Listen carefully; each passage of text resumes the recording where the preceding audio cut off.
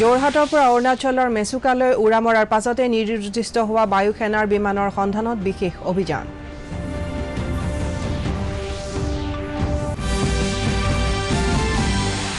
সত্ৰভূমি দখলমুক্ত কৰা গাঁওবুঢ়া পদৰ বাবে আবেদনৰ বয়স হ্ৰাস ব্যক্তিগত খণ্ডৰ কৰ্মচাৰীৰ সুৰক্ষাৰ বাবে পদক্ষেপ গ্ৰহণত অসম মন্ত্ৰীসভাৰ অনুমোদন। আই চি চি বিশ্বকাপত কালি পাকিস্তানৰ হাতত ইংলেণ্ডৰ চৈধ্য ৰাণত পৰাজয় আজি শ্ৰীলংকা আৰু আফগানিস্তানৰ খেল।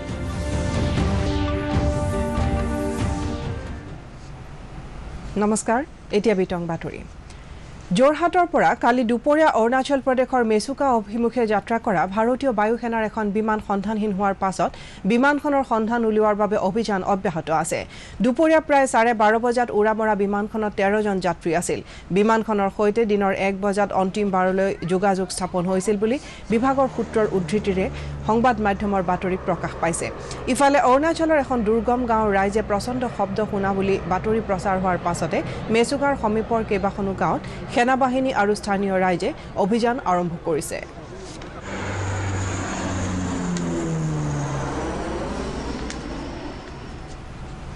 অসম চৰকাৰৰ কেবিনেটৰ এখন বৈঠক কালি জনতা ভৱনত অনুষ্ঠিত হয়। এই বৈঠকত সত্ৰৰ ভূমি বেদখলমুক্ত কৰাৰ বাবে ভূমি আইন সংশোধন কৰাত অনুমোদন জনোৱা হয়। এই বৈঠকতে ৰাজ্যিক কৰ্মচাৰীলৈ টাইম স্কেল পদোন্নতি গাঁওবুঢ়া পদৰ আবেদনৰ বয়স হ্ৰাস ব্যক্তিগত প্ৰতিষ্ঠানত নিযুক্তি ব্যৱস্থাক নিয়ন্ত্ৰণ আদি কেইবাটাও বিষয়ত সিদ্ধান্ত গ্ৰহণ কৰা হয়। স্বায়ত্তশাসিত পৰিষদসমূহৰ মুখ্য কাৰ্যবাহী সদস্যৰ দৰমহা বৃদ্ধিটো কেবিনেটে অনুমোদন জনায়। প্ৰধানমন্ত্ৰী নৰেন্দ্ৰ মোদী অহা আঠ জুনত দুদিনীয়া ভ্ৰমণসূচীলৈ মালদ্বীপলৈ যাব। দ্বিতীয়বাৰৰ বাবে প্ৰধানমন্ত্ৰীৰ দায়িত্ব গ্ৰহণৰ পাছত হাতত লোৱা বিদেশ ভ্ৰমণৰ এই প্ৰথমটো কাৰ্যসূচীৰ অধীনত দেশ দুখনৰ মাজত দ্বিপাক্ষিক সহযোগিতাক অধিক শক্তিশালী কৰাৰ বাবে সুদূৰ প্ৰসাৰী ব্যৱস্থা গ্ৰহণৰ সম্ভাৱনা আছে। ইয়াৰ পাছতে প্ৰধানমন্ত্ৰীয়ে ন জুনত শ্ৰীলংকা ভ্ৰমণ কৰিব। বৈদেশিক পৰিক্ৰমা মন্ত্ৰণালয়ে এই বিষয়ে প্ৰকাশ কৰি কৈছে যে প্ৰধানমন্ত্ৰীৰ এই দ্বিদেশীয় ভ্ৰমণ কাৰ্যসূচীয়ে ভাৰতৰ চুবুৰীয়াক প্ৰথমে চোৱা নীতিৰ গুৰুত্ব সূচাইছে। উত্তৰ পূৰ্বাঞ্চল উন্নয়ন দপ্তৰৰ স্বতন্ত্ৰ ৰাজ্যমন্ত্ৰী ডঃ জিতেন্দ্ৰ সিঙৰ অধ্যক্ষতাত কালি নতুন দিল্লীত মন্ত্ৰণালয়টোৰ জ্যেষ্ঠ বিষয়াবৰ্গ আৰু উত্তৰ পূব পৰিষদৰ বিষয়াসকলৰ এখন বৈঠক অনুষ্ঠিত হয়। ডোনাৰ মন্ত্ৰণালয়ৰ সচিব ডঃ ইন্দৰজিৎ সিং আৰু এন ই চিৰ সচিব ৰাম মুভায়ো বৈঠকত উপস্থিত আছিল। বিষয়াসকলে মন্ত্ৰণালয়টোত উত্তৰ পূৰ্বাঞ্চলত ৰূপায়ণ কৰি থকা প্ৰকল্পসমূহৰ অগ্ৰগতিৰ লগতে নতুনকৈ ৰূপায়ণ কৰিবলগীয়া প্ৰকল্পসমূহৰো খতিয়ান দাঙি ধৰে। সেইমৰ্মে জে এন ইউত উত্তৰ পূৰ্বাঞ্চলৰ শিক্ষাৰ্থীৰ বাবে ছাত্ৰাবাস নিৰ্মাণৰ বাবে এঘাৰ কোটি টকা উত্তৰ পূব পৰিষদে মোকলাই দিছে। পঞ্চাছ কোটি টকা ব্যয়েৰে দিল্লীৰ দ্বাৰকাত স্থাপন কৰিবলগীয়া পূৰ্বোত্তৰ সাংস্কৃতিক তথা তথ্য কেন্দ্ৰৰ বিষয়টোও আলোচনা কৰা হয়। মন্ত্ৰী ডঃ সিঙে কয় যে প্ৰধানমন্ত্ৰী নৰেন্দ্ৰ মোদীৰ নেতৃত্বৰ চৰকাৰখনে উত্তৰ পূৰ্বাঞ্চলৰ উন্নয়নত সৰ্বোচ্চ অগ্ৰাধিকাৰ দিছে আৰু সেই সকলো প্ৰকল্প ক্ষীপ্ৰতাৰে ৰূপায়ণ কৰাত তেওঁ গুৰুত্ব আৰোপ কৰে। মুখ্যমন্ত্ৰী সৰ্বানন্দ সোণোৱালে কালি ইছলামপুৰ ঈদগাহত বিজেপিৰ সংখ্যালঘু মৰ্চাই আয়োজন কৰা ইফতাৰ কাৰ্যসূচীত অংশগ্ৰহণ কৰি কয় যে ৰাজ্যখনক শান্তি আৰু সমৃদ্ধিৰ পথত আগুৱাই নিবলৈ পৰস্পৰে পৰস্পৰৰ সৈতে ভাৱ বিনিময় আৰু আলোচনাক মুখ্য মাধ্যমৰূপে গ্ৰহণ কৰা উচিত। তেওঁ ঈদ উপলক্ষে অসমবাসীক শুভকামনাও জ্ঞাপন কৰে। এই কাৰ্যসূচীত বিজেপিৰ নেতা ৰঞ্জিত কুমাৰ দাস ৰঞ্জিত দত্ত ৰকিবুল ৰহমান গুৱাহাটীৰ নৱনিৰ্বাচিত সাংসদ কুইন উজায়ো অংশগ্ৰহণ কৰে।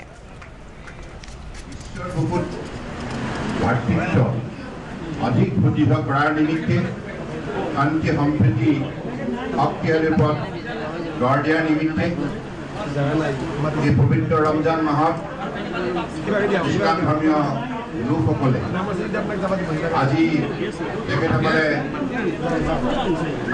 অত্যন্ত ভক্তিভাৱেৰে আৰু ত্যাগৰ মানসিকতাৰে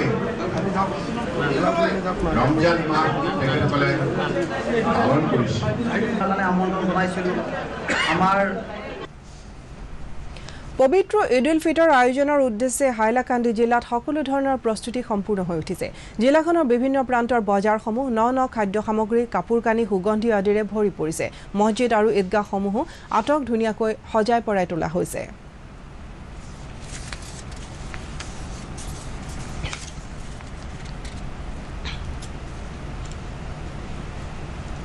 অহা এক জুলাইৰ পৰা আৰম্ভ হ'বলগীয়া এই বছৰৰ অমৰনাথ যাত্ৰাৰ বাবে ইতিমধ্যে এক লাখ দহ হেজাৰ তীৰ্থযাত্ৰীয়ে নাম পঞ্জীভুক্ত কৰিছে।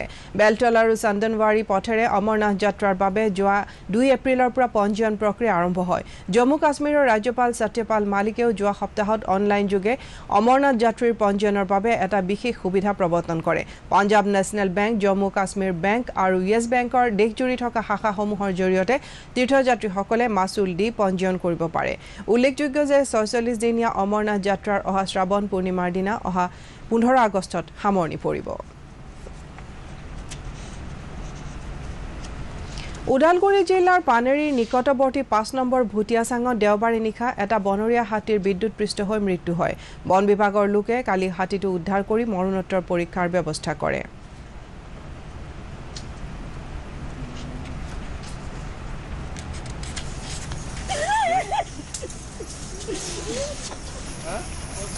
ঝাৰখণ্ডত মাওবাদীৰ আক্ৰমণত নিহত এছ এছ বিত কৰ্মৰত গহপুৰৰ জোৱান নীৰজ চেত্ৰীৰ নশ্বৰ দেহ কালি অসমলৈ অনা হয়। গুৱাহাটীৰ পৰা চেত্ৰীৰ নশ্বৰ দেহ গহপুৰলৈ নিয়াৰ পথত ওদালগুৰি জিলাৰ লালপুলত থকা বাহিনীটোৰ তেইছ নম্বৰ বেটেলিয়নৰ শিবিৰত শ্ৰদ্ধাঞ্জলি অৰ্পণ কৰা হয়। আজি গহপুৰত নীৰজ চেত্ৰীৰ শেষকৃত্য সম্পন্ন কৰা হ'ব।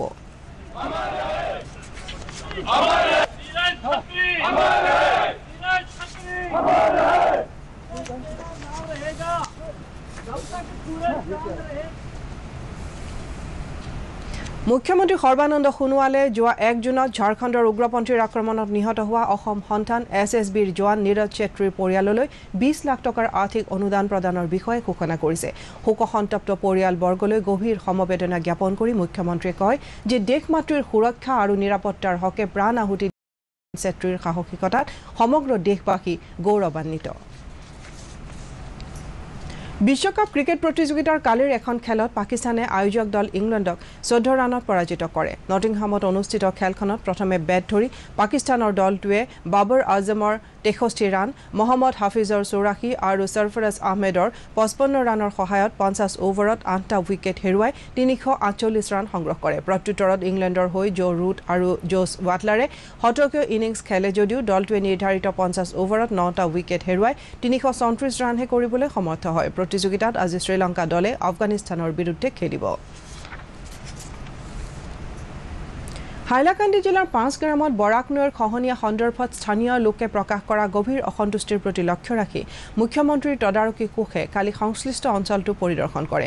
বিশেষকৈ বাৰিষাৰ সময়ছোৱাত সমগ্ৰ অঞ্চলটোৰ লোকসকলে সন্মুখীন হোৱা দুৰ্যোগৰ পৰিপ্ৰেক্ষিতত ভূমি সংৰক্ষণৰ কাম কাজ অতি নিম্নমানৰ বুলি জিলা বিজেপি যুৱনেতা সবুজ সেনে মুখ্যমন্ত্ৰীক অৱগত কৰোৱাৰ পিছত এই পদক্ষেপ গ্ৰহণ কৰা হৈছে।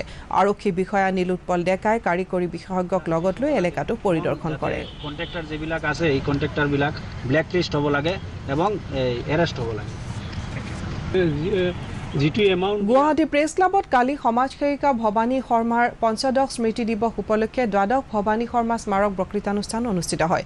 গুৱাহাটী আলোচনা চক্ৰৰ উদ্যোগত আয়োজিত এই কাৰ্যসূচীত অংশ লৈ বিশিষ্ট লেখিকা ডক্টৰ মালিনী গোস্বামীয়ে সাম্প্ৰতিক সাহিত্যত সৃজনাত্মক সৃষ্টিৰ সমল বা উচ্চৰূপে ভাৰতীয় মহাকাব্যৰ গৌণ নাৰী চৰিত্ৰসমূহ শীৰ্ষক বিষয়ত বক্তৃতা আগবঢ়ায়। কনক চন্দ্ৰ শৰ্মাই সভাপতিত্ব কৰা কাৰ্যসূচীত ডক্টৰ শৈলেন ভৰালীসহ কেইবাজনো বিশিষ্ট ব্যক্তি উপস্থিত আছিল।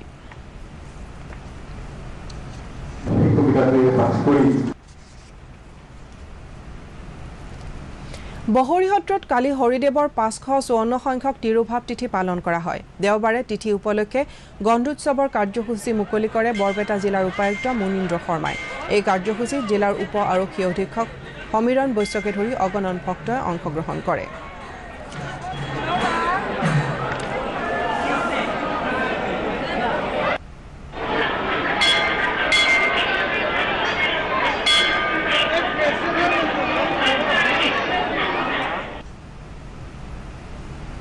শেষ কৰাৰ আগতে প্ৰধান বাতৰিসমূহ আকৌ এবাৰ। যোৰহাটৰ পৰা অৰুণাচলৰ মেচুকালৈ উৰা মৰাৰ পাছতে নিৰ্দিষ্ট হোৱা বায়ুসেনাৰ বিমানৰ সন্ধানত বিশেষ অভিযান।